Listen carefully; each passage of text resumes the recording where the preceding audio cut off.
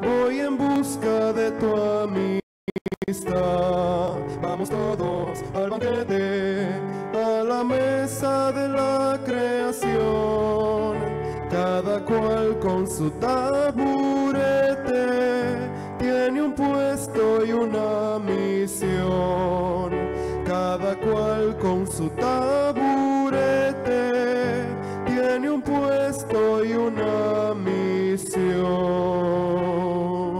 En el nombre del Padre y del Hijo y del Espíritu Santo. Amén. El Señor que dirige nuestros corazones para que amemos a Dios y al prójimo esté con ustedes. Y con tu espíritu. Aclamemos la misericordia y el perdón del Señor, vencedor del pecado y de la muerte. Tú que no has venido a condenar, sino a perdonar, Señor, ten piedad. Señor, ten Tú que piedad. has dicho que hay una gran fiesta en el cielo por un pecador que se convierte, Cristo, ten piedad. Cristo, ten piedad. Tú que viniste a buscar al que estaba perdido, Señor, ten piedad. Señor, ten Y piedad. Dios que es siempre bueno y rico en misericordia, Él perdona todos nuestros pecados y nos guarda en vida eterna. Amén. Oremos al Señor. Vela, Señor, con amor continuo sobre tu familia, protégela y defiéndela siempre, ya que solo en ti ha puesto su esperanza. Por nuestro Señor Jesucristo, tu Hijo, Él que vive y reina contigo en la unidad del Espíritu Santo y es Dios por los siglos de los siglos. Amén. Nos acomodamos para escuchar y meditar la liturgia de la palabra.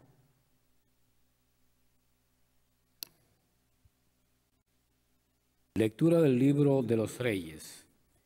En aquellos días, Roboam, rey de Israel, pensaba para sus adentros, el reino todavía puede volver a la casa de David. Si el pueblo sigue yendo a Jerusalén a ofrecer sacrificios en el templo del Señor, acabará por ponerse de parte de Roboam, rey de Judá, y a mí me matarán. Por tanto, después de consultarlo, Jeroboam mandó hacer dos becerros de oro y le dijo al pueblo, ya no tienen para qué ir a Jerusalén, porque aquí tienes, Israel, a tu Dios, el que te sacó de Egipto. Él colocó uno de los voceros y los becerros en Betel, mientras el pueblo iba con el otro a la ciudad de Dan. Además mandó construir templos en la cima de los montes y puso de sacerdotes a hombres del pueblo que no pertenecían a la tribu Leví. Instituyó una fiesta al día 15 del octavo mes, parecida a la que celebraba en Judá. Él mismo subió al altar en Betel para ofrecer sacrificios a los becerros que habían mandado hacer. Y ahí, en Betel, designó a los sacerdotes para los templos que habían construido. Jeroboam no cambió su mala conducta y siguió nombrando a gente común y corriente para que fueran sacerdotes de los templos que había construido en la cima de los montes. Consagraba como sacerdote a todo aquel que lo deseaba. Este fue el pecado que causó la destrucción y el exterminio de la distancia y dinastía de Jeroboam. Palabra de Dios. Te alabamos, Señor.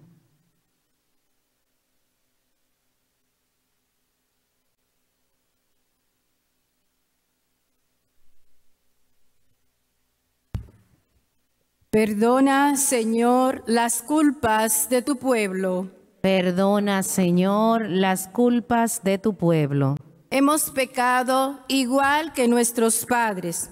Cometimos maldades e injusticias. Allá en Egipto nuestros padres no entendieron, Señor, tus maravillas. Perdona, Señor, las culpas de tu pueblo.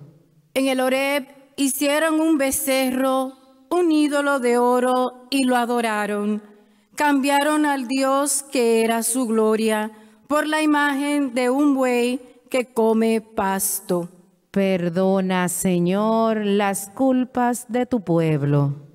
Se olvidaron del Dios que los salvó y que hizo portentos en Egipto, en la tierra de Cam, mil maravillas, y en las aguas del Mar Rojo, sus prodigios.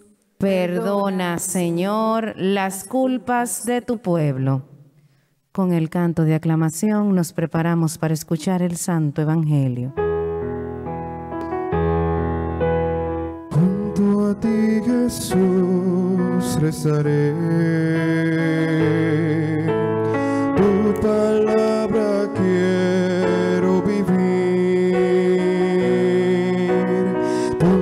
Sencillo, Señor. En tus manos me dejaré.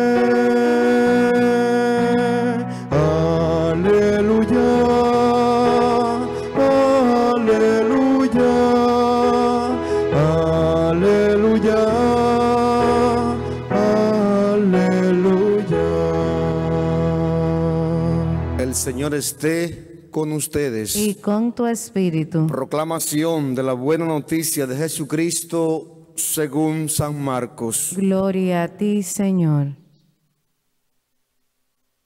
Uno de aquellos días, como había mucha gente y no tenían qué comer, Jesús llamó a sus discípulos y les dijo, me da lástima de esta gente, llevan ya tres días conmigo y no tienen qué comer. Y si los despido a sus casas en ayunas, se van a desmayar por el camino.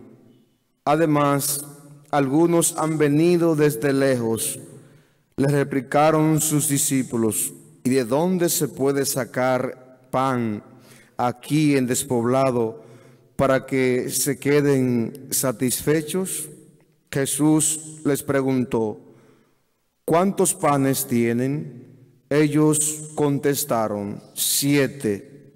Jesús mandó que la gente se sentara en el suelo, tomó los siete panes, pronunció la acción de gracias, los partió y los fue dando a sus discípulos para que los sirvieran. Ellos los sirvieron a la gente. Tenían también unos cuantos peces. Jesús los bendijo y mandó que los sirvieran también.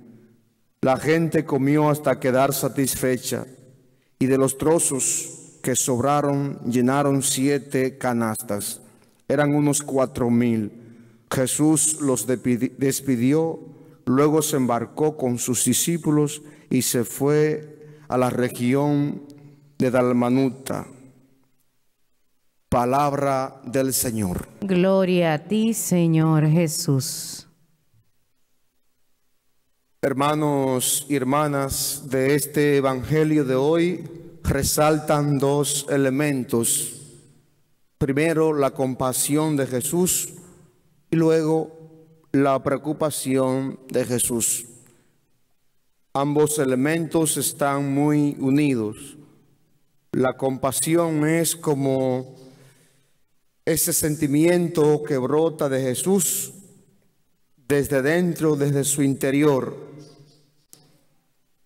Y es, como siempre, su primera preocupación, su primer sentimiento ante la multitud que anda desorientada como ovejas sin pastor, va a decir el mismo evangelista Marcos.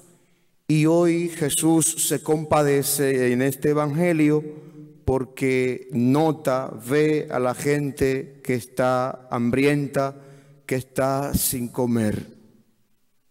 La compasión de Jesús no es un sentimiento pasajero, no es simplemente una lástima, sino es una actitud permanente, es su manera de ser. Hay un estudioso de la vida de Jesús llamado José Antonio Pagola que dice que esa era la manera de ser de Jesús, no tenía otra manera de ser, no sabía ser de otro modo, sino ser compasivo. Y Jesús lo vivía todo desde la compasión. El término que utilizan los evangelios para hablar de la compasión de Jesús es la conmoción. La conmoción es como esa, esa fuerza, ese movimiento violento desde dentro, no agresivo, pero sí ese movimiento, ese ímpetu que le sale desde las entrañas, desde la víscera, desde la tripa a la persona. Jesús se compadecía constantemente o permanentemente porque esa era su manera de ser, no sabía ser de otro modo. Y asimismo también las parábolas y los ejemplos que Jesús les ponía a sus discípulos y a la gente salían de ese mismo sentimiento. Por eso en la parábola del Hijo Pródigo, la reacción, el sentimiento del Padre cuando ve al Hijo que llega, que lo ve a distancia, que lo vislumbra hacia allá, el sentimiento, dice el Evangelio, el Padre se conmovió, se le conmovieron las entrañas, las tripas, las vísceras. Y también en el buen samaritano que baja de Jerusalén hacia Jericó, ve al herido tirado en el suelo y el sentimiento que brota del samaritano es la conmoción, la compasión. Por eso Jesús también pudo hablar de esa manera porque eso era lo que sentía y eso era lo que vivía. Y lo segundo, la preocupación de Jesús. El Evangelio de hoy va a decir que Jesús se preocupó si la gente tenía hambre, si tenían fuerzas para llegar a sus casas o se iban a desmayar, si las personas estaban bien. Por eso podemos deducir que la preocupación de Jesús no es de corte eh, ritual, no era la purificación ritual, el cumplimiento de la ortodoxia. Por eso constantemente se le acusaba a Jesús en los evangelios o en el evangelio de que violaba el sábado, de que no guardaba el sábado, que sus discípulos comían con las manos impuras. Es decir, Jesús no se preocupó tanto por el cumplimiento de la ortodoxia o la doctrina, parece ser, sino más bien que la preocupación de Jesús fue una preocupación antropológica, es decir, una preocupación por el ser humano en su realidad de sufrimiento y de dolor. Y asimismo quiere el Papa Francisco que sea nuestra iglesia una iglesia menos preocupada en la ortodoxia y la doctrina y más centrada en el dolor y en el sufrimiento humano. En la exhortación apostólica, la alegría del Evangelio, el Papa Francisco va a decir, no nos preocupemos solo por no caer en los errores doctrinales, porque a los defensores de la ortodoxia se dirige a veces el reproche de pasividad, de indulgencia, o de complicidad culpables respecto a situaciones de injusticia intolerables que se cometen en la sociedad.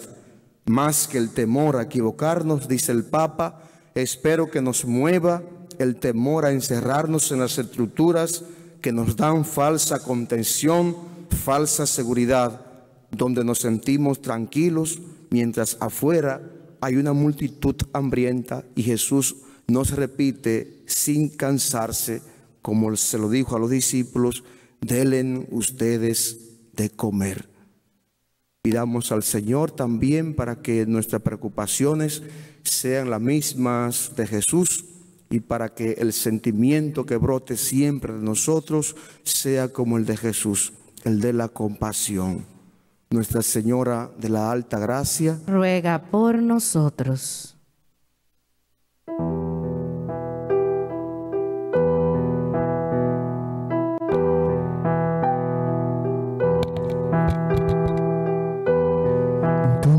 tu mesa, Señor, te ofrecemos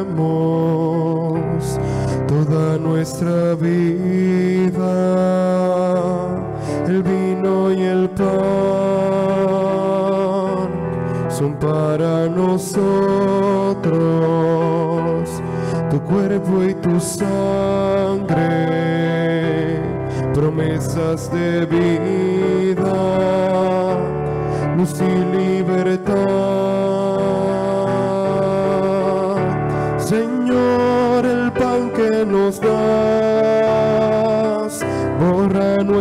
miserias. Señor, tu copa será sangre de vida eterna. Señor, sabemos que tú te das sin condiciones. Danos tu espíritu y haz de carne los corazones. Señor, el pan que nos das borra nuestras miserias. Señor, tu copa será sangre de vida eterna. Señor, sabemos que tú te das sin condiciones. Danos tu espíritu y haz de carne los corazones, Señor. Recen conmigo, hermanos y hermanas, para que esta Eucaristía que estamos celebrando y todas nuestras acciones y nuestra vida sean agradables a Dios Padre Todopoderoso. El Señor reciba de tus manos este sacrificio para alabanza y gloria de su nombre, para nuestro bien y el de toda su santa iglesia. Señor Dios nuestro, que has creado este pan y este vino para reparar nuestras fuerzas, concédenos que sean también para nosotros sacramento de vida eterna. Por Jesucristo nuestro Señor. Amén. Que el Señor esté con ustedes. Y con tu espíritu Levantemos el corazón lo tenemos levantado hacia el y Señor. demos gracias al Señor nuestro Dios. Es justo y necesario. En verdad es justo darte gracias y deber nuestro alabarte, Padre Santo, Dios Todopoderoso y Eterno, en todos los momentos y circunstancias de la vida, en la salud y en la enfermedad, en el sufrimiento y en el gozo, por tu siervo Jesús, nuestro Redentor, porque Él en su vida terrena pasó haciendo el bien y curando a los oprimidos por el mal. También hoy, como buen samaritano, se acerca a toda persona que sufre en su cuerpo o en su espíritu y cura sus heridas con el aceite del consuelo y el vino de la esperanza. Por este don de tu gracia, incluso cuando nos vemos sumergidos en la noche del dolor, vislumbramos la luz pascual en tu Hijo muerto y resucitado. Por eso, unidos a los ángeles y a los santos, cantamos a una voz el himno de tu gloria. Santo, santo, santo es el Señor del universo. Llenos está en el cielo y la tierra de tu gloria. Hosanna en el cielo, Hosanna, Hosanna, bendito es el que viene en nombre del Señor.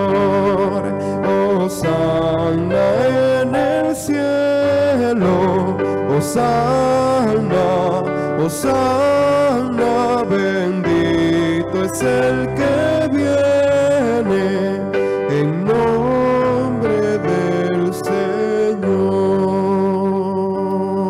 Santo eres en verdad, Señor, fuente de toda santidad.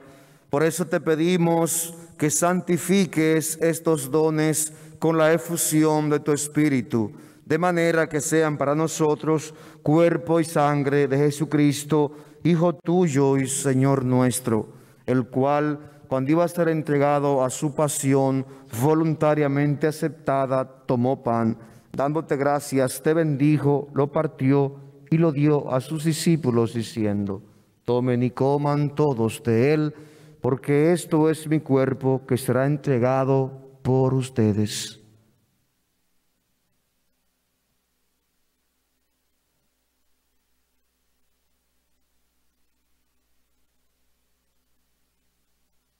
Del mismo modo, acabada la cena, tomó el cáliz y dándote gracias de nuevo, lo pasó a sus discípulos diciendo, tomen y beban todos de él, porque este es el cáliz de mi sangre, sangre de la alianza nueva y eterna, que será derramada por ustedes y por muchos para el perdón de los pecados.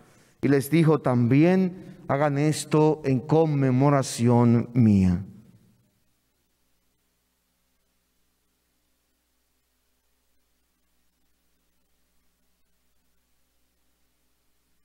Este es el sacramento de nuestra fe. Anunciamos tu muerte, proclamamos tu resurrección. Ven, Señor Jesús. Así pues, Padre, al celebrar ahora el memorial de la muerte y resurrección de tu Hijo, te ofrecemos el pan de vida y el cáliz de salvación, y te damos gracias porque nos haces dignos de servirte en tu presencia. Te pedimos humildemente que el Espíritu Santo congregue en la unidad a cuantos participamos del cuerpo y la sangre de Cristo. Acuérdate, Señor, de tu iglesia extendida por toda la tierra y con el Papa Francisco, con nuestro obispo Freddy Bretón y sus obispos auxiliares Tomás y Plinio, y todos los pastores que cuidan de tu pueblo, llévala a su perfección por la caridad. Acuérdate también, Padre, de nuestros hermanos que durmieron en la esperanza de la resurrección. Acuérdate de modo especial en el día de hoy de Rafael Antonio Liz, Julia del Carmen Mérides, Carmen Severino, Alejandro Rodríguez, Eva Altagracia Jiménez, María Amparo Frías Cepín, Eduardo del Carmen Grullón, bienvenido Taveras, Pascual Muñoz, Núñez, Margot Peguero, Jando Bautista, José Melvin, Rafael Antonio, Mildalia, José Santiago, Rafael Enrique, María Aida y José Enrique Fernández y María Isabel Corsino.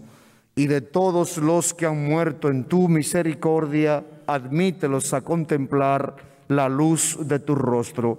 Ten misericordia de todos nosotros y así con María, la Virgen Madre de Dios, Nuestra Señora de la Alta Gracia, su esposo San José, los apóstoles y cuantos vivieron en tu amistad a través de los tiempos, merezcamos por tu Hijo Jesucristo compartir la vida eterna y cantar tus alabanzas. Por Cristo, con Cristo y en Cristo, a ti Dios Padre Omnipotente, en la unidad del Espíritu Santo, todo honor y toda gloria por los siglos de los siglos. Amén. El amor de Dios ha sido derramado en nuestros corazones con el Espíritu Santo que se nos ha dado. Digamos con fe y con esperanza. Padre nuestro que estás en el cielo, santificado sea tu nombre. Venga a nosotros tu reino hágase tu voluntad en la tierra como en el cielo. Danos hoy nuestro pan de cada día, perdona nuestras ofensas, como también nosotros perdonamos a los que nos ofenden. No nos dejes caer en la tentación y líbranos del mal. Líbranos de todos los males, Señor, y concédenos la paz en nuestros días, para que, ayudados por tu misericordia, vivamos siempre libres de pecado y protegidos de toda perturbación mientras esperamos la gloriosa venida de nuestro Salvador Jesucristo. Tuyo es el reino, tuyo es el poder y la gloria por siempre, Señor. Señor Jesucristo, que dijiste a tus apóstoles, la paz les dejo, mi paz les doy.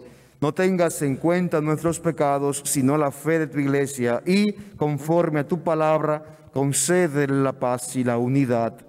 Tú que vives y reinas por los siglos de los siglos. Amén. La paz del Señor esté siempre con ustedes. Y con tu espíritu, Intercambien un signo de paz. la paz.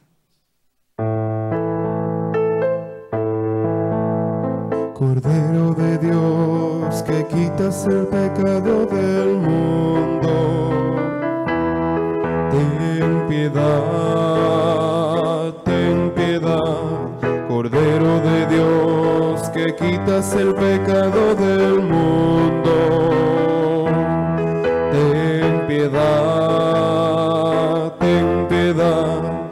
Cordero de Dios que quitas el pecado del mundo,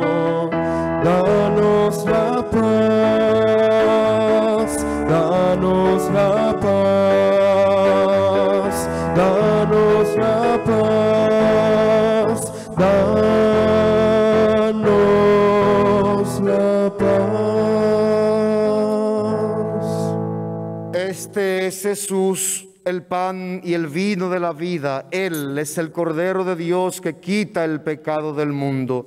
Dichosos y dichosas los invitados a participar en el banquete del Señor. Señor, no soy digna de que entres en mi casa, pero una palabra tuya bastará para sanarme. Que el cuerpo y la sangre de Cristo nos guarden en vida eterna. Amén. El Señor se ha quedado con nosotros y nos invita a ser compasivos y misericordiosos con nuestros hermanos. Que Él venga en este momento y nos llene de su amor y de su gracia y nos permita quedarnos con Él y en Él. Creo, Jesús mío, que estás real y verdaderamente en el cielo y en el santísimo sacramento del altar. Te amo sobre todas las cosas y deseo vivamente recibirte dentro de mi alma, pero no pudiendo ahora hacerlo sacramentalmente, ven espiritualmente a mi corazón y como si ya te hubiese recibido, te abrazo y me uno del todo a ti. Señor, no permitas que jamás me aparte de ti. Amén.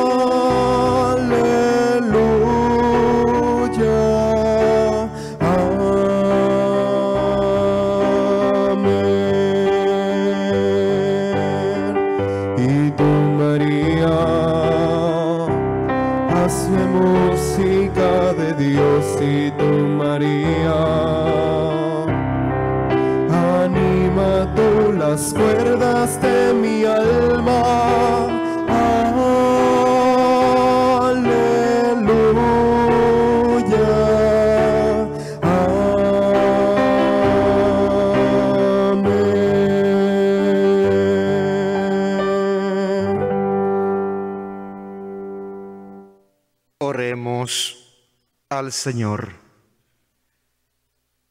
Oh Dios, que has querido hacernos partícipes de un mismo pan y de un mismo cáliz, concédenos vivir tan unidos en Cristo que fructifiquemos con gozo para la salvación del mundo. Por Jesucristo nuestro Señor. Amén.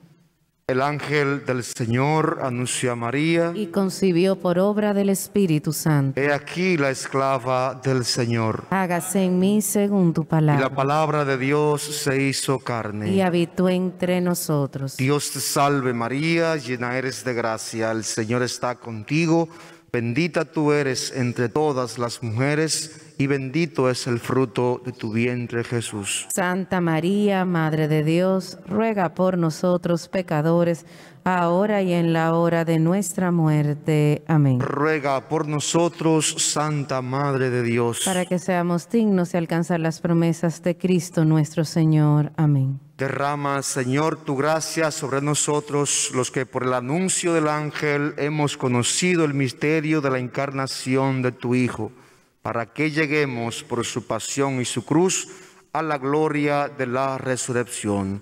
Por Jesucristo nuestro Señor. Amén. El Señor esté con ustedes. Y con tu espíritu. Eh, hoy a las 10 tendremos la Eucaristía por los enfermos. Será presidida por Monseñor Valentín Reynoso Plinio.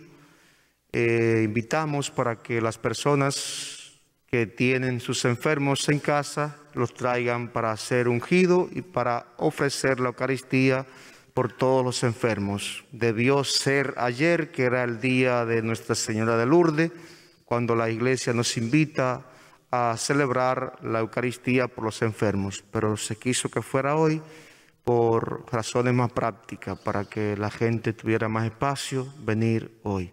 Pues a las 10 estamos invitados a participar de esta Eucaristía. Que el Señor esté con ustedes. Y con tu espíritu. La bendición de Dios Todopoderoso, Padre, Hijo y Espíritu Santo, descienda sobre ustedes. Amén. Pueden ir en paz. Demos gracias a Dios. Agradecemos también a Super TV 55, Ave María TV y todos aquellos que nos siguieron a través de nuestras redes en Facebook y YouTube. Para todos un lindo día junto a Jesús y nuestra Madre María. María, tú que velas junto a mí y ves el fuego de mi inquietud. María, Madre, enséñame a vivir.